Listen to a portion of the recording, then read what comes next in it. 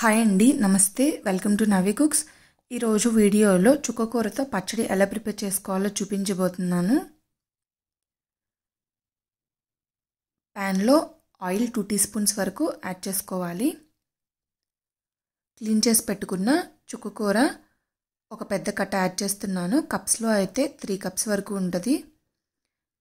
ఇది కొంచెం మగ్గే వరకు ఫ్రై చేసుకోవాలి.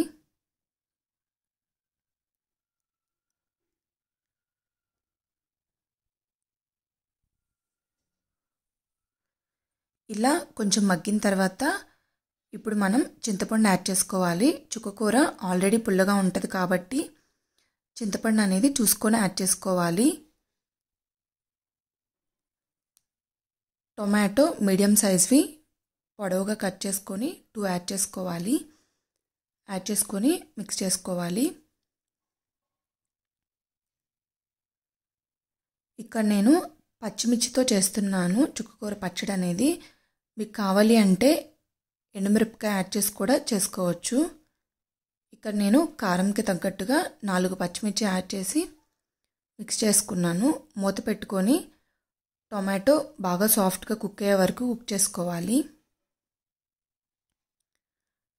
ఇప్పుడు ఆయిల్ కూడా పైకి ఫ్లోట్ అయింది. టొమాటో కూడా బాగా కుక్ అయిపోయింది.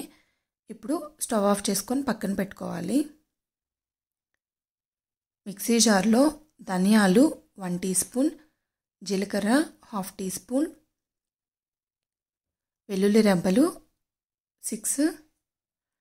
మనం ముందుగానే ప్రిపేర్ చేసి పెట్టుకున్న చుక్కకూర టొమాటోని యాడ్ చేసుకోవాలి. టేస్ట్కి సరిపడా సాల్ట్ యాడ్ చేసుకొని కొంచెం బరకగా గ్రైండ్ చేసుకోవాలి. ఇప్పుడు మనం చట్నీకి పోపు పెట్టుకోవాలి. ఆయిల్ వన్ టీ స్పూన్ ఆవాలు హాఫ్ టీ స్పూన్ శనగపప్పు వన్ టీ స్పూన్ మినప్పప్పు వన్ టీ స్పూన్ జీలకర్ర హాఫ్ టీ స్పూన్ యాడ్ చేసుకొని ఈ పోపు అంతా ఎర్రగా వచ్చే వరకు ఫ్రై చేసుకోవాలి. ఇప్పుడు కొంచెం కరివేపాకు యాడ్ చేసుకొని పెద్ద సైజు ఆనియన్ని చిన్న ముక్కలుగా కట్ చేసుకొని యాడ్ చేసుకోవాలి. పసుపు హాఫ్ టీ స్పూన్ యాడ్ చేసుకోవాలి. ఈ ఆనియన్ అనేది వన్ మినిట్ ఫ్రై చేసుకుంటే సరిపోతుంది. ఇంకా ఎక్కువసేపు మనం ఫ్రై చేస్తే క్రంచినెస్ అనేది పోతుంది.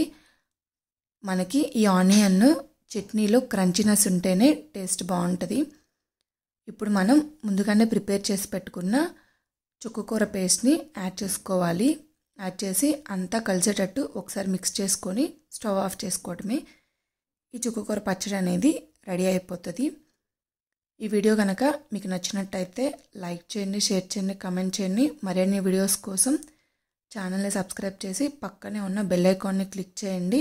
Thanks for watching